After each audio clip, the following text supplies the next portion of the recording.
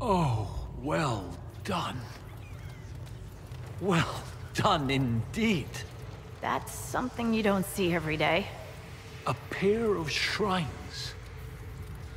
This one is clearly Andrastian, albeit from a very early period, likely pre-divine. But this is Elven. One of their gods. Uh, what was it? Every mother finds Druffalo among sleeping juniper groves.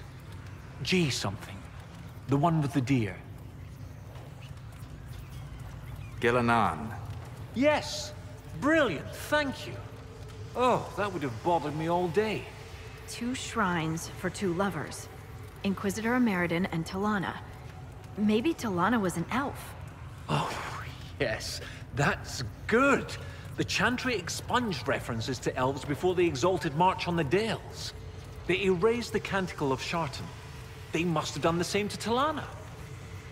The Chantry should not rewrite history to cover up inconvenient truths. Regardless, the important thing is what this tells us. It's not a burial site. That much is obvious. Look at those flowers. They're not native to the area. What if they were left at the shrine as an offering? Yes.